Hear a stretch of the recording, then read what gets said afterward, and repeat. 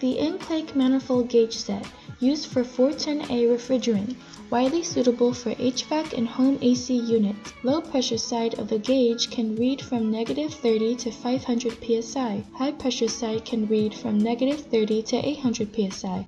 The adjustable joints have one half male and female fittings.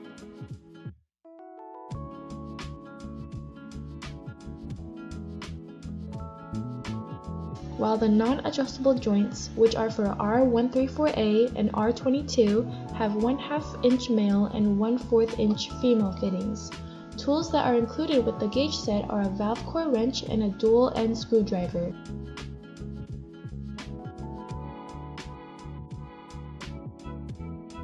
Connect the blue line to the low pressure side, the yellow line to the charge release valve, and the red line to the high pressure side of your gauge set.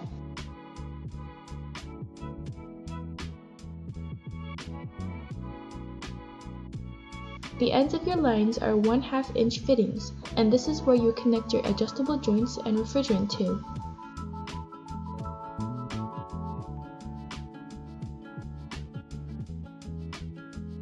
Connect the non-adjustable joints if you are going to use R134A or R22.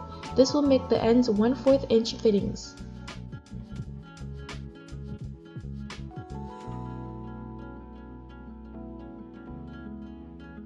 Adjustable joints have closed and open valve knobs.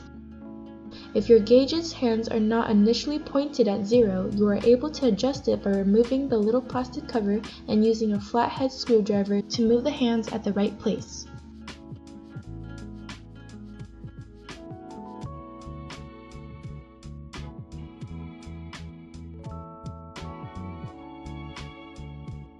If there is a need to replace the sight glass or green rubber ring of your manifold gauge set, take the metal accessory piece and slide it in the gaps of the sight glass lid.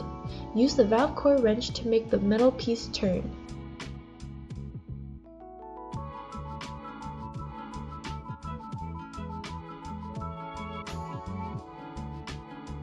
After replacement, make sure the sight glass cover is tight and secure to avoid future leakages.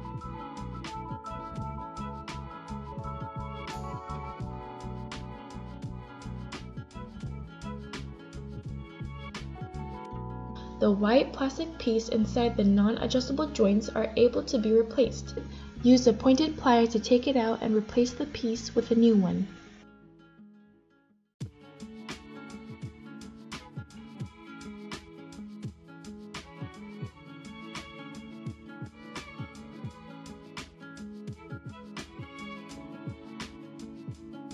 Use green rubber rings to secure any male to female fittings. The pin inside can also be replaced by using the valve core wrench to unscrew it out.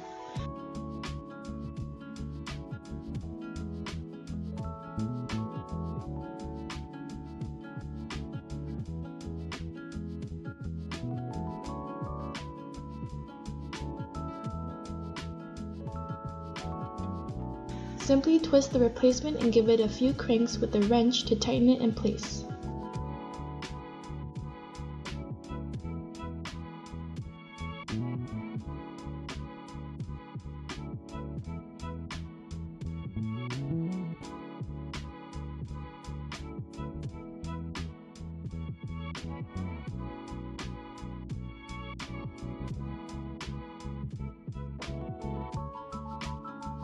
At any worksite, it is permitted to wear gloves and safety glasses when using refrigerant with a manifold gauge set. Make sure to bring the right readings and meters and work safe. Thank you for watching.